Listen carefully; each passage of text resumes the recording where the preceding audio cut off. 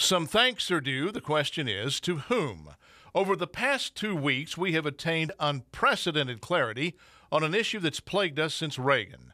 Thanks to the howling, hysterical, and to an astonishing degree fact starved coverage of the children of illegal immigrants detained at the border, we now know without ambiguity exactly where the Democrats stand.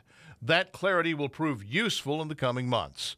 Because the president has actually done what prior presidents have promised to do but never have, the law is now being enforced on America's southern border.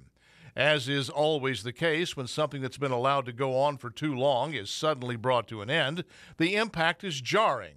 For years, if you got caught sneaking into the United States, the accompaniment of a child served as a pass. It was called catch and release.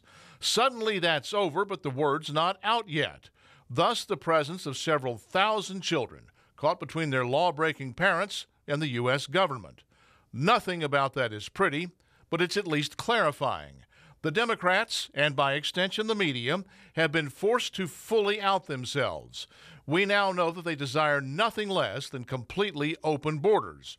We now know that they oppose any level of meaningful enforcement of long extant immigration law. We now know, given their manufactured hysteria over the children, just how cynical they really are. For this bright, shining clarity, we should be grateful. But whom do we thank? Do we thank the Democrats for finally showing us what they really believe? Or do we thank Donald Trump for forcing them to. That's my word. What's yours? Go to youtellmetexas.com and you tell me. And follow me on Twitter at Paul Gleiser.